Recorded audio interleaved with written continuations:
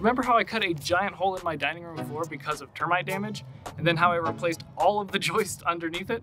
Yeah, well today we are doing the last step of that, which is replacing the wooden flooring on top of it, covering all the beautiful work we've already done.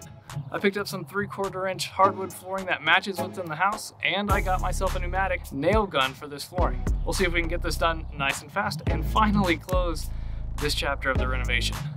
Now I'm gonna go in and get dressed. We'll get started.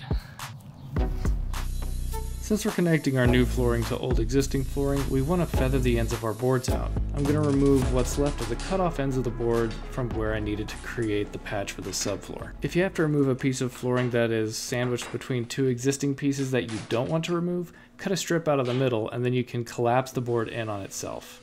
Remove any dust and chips from the grooves of the board so that we can get a seamless transition. I sanded my plywood edge down a hair just so that it was completely flush with the existing wood and then covered it with tar paper. If you're using 15 pound tar paper like I am here, which is a bit thinner, you can lay the two layers of old and new on top of each other. If you're using a heavier weight like 30 pound tar paper, then you need to butt the edges up next to each other instead of laying them one on top of the other. I installed my first few pieces of flooring extremely slowly just so I could understand how the tool worked and make sure that my gaps were closed up nicely. I am not a fast worker, but I will kill myself trying to get the quality that I'm looking for.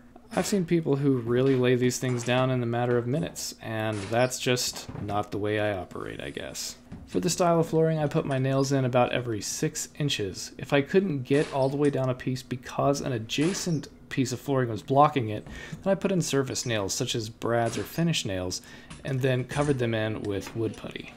One thing that I ran into, and you might as well, is the spacing on old flooring might be different than what you can do with the new flooring. I could put my new flooring in much tighter than the existing flooring actually was, and that sort of started throwing my lines off as I got further and further down and closer to the wall.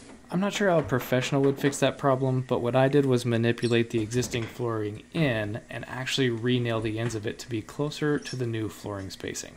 And I'm not going to lie to you, there were a few gaps that were larger than others because of me doing this. It's quite difficult to get absolute consistency when you're working with new flooring versus flooring that was installed over 70 years ago. And while that may be the case, it is still the best looking spot of flooring in the entire house. Because this flooring has been refinished before, there were some spaces that were filled with wood filler. There's nothing wrong with that, and I'll be coming back and putting some in myself but because I was trying to make these boards line up, I removed as much of the wood filler as I could to re-pressure the boards together to get a nice clean seam. Once I got all the way to the wall, it was time to cut the little half strip piece that was going to be my edge. I cut these boards 1 8 of an inch narrower than I actually needed to account for expansion. The piece I was currently replacing on the edge was about 10 feet longer down the room than I wanted to replace. So I cut out a piece of it with the oscillating saw and just made a butt joint with those last two pieces of flooring. It's not going to cause any problems because it's on the edge. I just threw a couple extra nails in it to make sure that they both stayed down. You're going to notice that the way you work has to change the closer you get to the wall. When you're down to the last three or four boards, the pneumatic hammer isn't going to fit on the edges anymore because the wall is going to be in the way. Closing your seams is going to be a little bit harder and you're going to have to find another way to fasten down your pieces. In my case, I used a combination of screwdrivers and nail bars to pry the flooring together while I hit it with a finish nailer.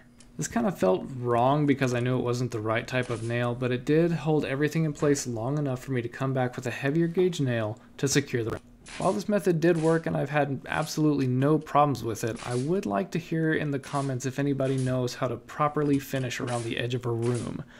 I'm quite curious and I found so many different answers. If there's anyone in the industry, please let me know.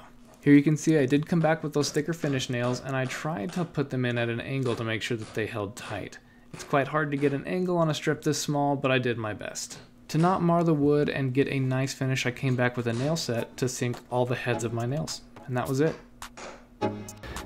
Getting this patch of flooring done was the easiest step in a long list of difficult tasks to repairing this section of the house.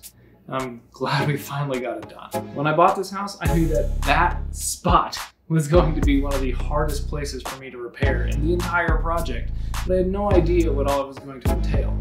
Now the exciting thing is that once I replace just a few more pieces of flooring, we're ready to refinish the floors throughout the entire house. If you want to see the steps I took to get ready for this part of the process, I'll put the video right up there. Until then, thanks for watching. See you next time.